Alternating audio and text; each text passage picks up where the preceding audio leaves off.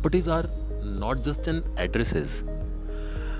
They are the place where memories are crafted and the stories are told. हम घर बेचते ज़रूर हैं, पर हमें भी पता है कि घर वो है जहाँ पे आपका दिल लगता है और जहाँ पे आपका आने का मन करता है। आप किसी भी दुनिया में हो, आप किसी भी जगह पे हो इन दी एंड आपको अपने घर जाने का दिल ज़रूर करेगा। हम दीवारें ज़रूर खड़ी करते हैं। पर घर को पूरा एक परिवार ही करता है। घर से अच्छी एनर्जी घर से अच्छी हैप्पीनेस कहीं पे भी नहीं होती।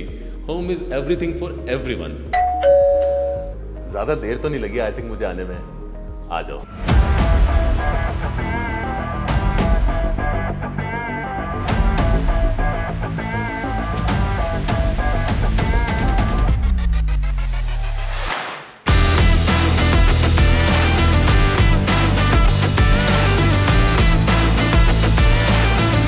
हरकिशन नगर की property lift and car parking के साथ में काफ़ी वाइड सी प्रॉपर्टी मिल जाएगी, बहुत प्यारी सी यूनिक सी प्रॉपर्टी मिल जाने वाली है। और अगर हम बात करते हैं इसकी फ्रंट की रोड की तो वाइड रोड मिलने वाली है। और अगर हम बात करते हैं इसके साइज़ की डायमेंशन की तो साइज़ आने वाला तीस बाय पिचहत्तर का।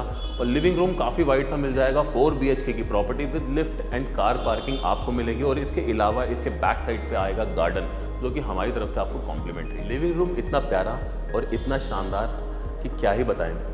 अगर आपके गेस्ट आएँगे तो कहेंगे, वाओ, इतना प्यारा सुंदर सा लिविंग रूम मिलने वाला है, जिसमें इटालियन फ्लोरिंग मिलेगा पीओपी वर्क मिलेगा प्रोफ़ाइल लाइट मिलेगा वॉल टू वॉल वर्किंग बहुत अच्छा मिलेगा और एलसीडी पैनल मैं क्या ही बोलूँ, कुछ सोच समझ के बनाई गई प्रॉपर्टी है। किचन एक ऐसी जगह है जहाँ पे आपके लिए आपकी वाइफ आपकी मम्मी या आपकी सिस्टर हमेशा खाना बनाती है और आपकी जितनी भी आवाज़ हो या आप कभी भी थके हुए आए हो तो आपको खाना ज़रूर मिलता है। तो एक ऐसी प्यारी सी किचन उनके लिए हमने बनाई। फ़र्स्ट बेडरूम की बात करते हैं तो फ़र्स्ट बेडरूम में इटालियन इटालियन के अलावा एलसीडी पैनल ऊपर पीओपी वर्क और काफ़ी प्यारा सा वार्डरोब इस प्रॉपर्टी में मिल जाएगा। वार्डरोब का सेक्शन काफ़ी बड़ा सा मिल जाएगा। देन ऊपर पीओपी वर्क नीचे इटालियन फ्लोरिंग जो कि पूरे घर में सेम रहने वाली है।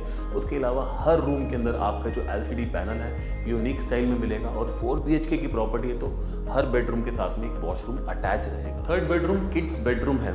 और किड्स बेडरूम होने के बावजूद भी इसका रूम साइज़ काफ़ी डिसेंट सा रखा गया है। और इसके अलावा इसमें एल पैनल और प्लस अटैच वॉशरूम और वेंटिलेशन के लिए शाफ्ट की स्पेस भी छोड़ी गई है और वार्डरोब का सेक्शन काफ़ी बड़ा सा दिया गया है। मास्टर बेडरूम फोर्थ बेडरूम जो कि इस घर का सबसे बढ़िया और सुपीरियर एरिया रहने वाला है। मतलब इतना यूनिक स्टाइल में हमने इसे क्रिएट किया है, जिसके अंदर आपको वॉकिंग वार्डरोब का सेक्शन मिल जाएगा एलसीडी पैनल बड़ा डिफरेंट स्टाइल का मिल जाएगा।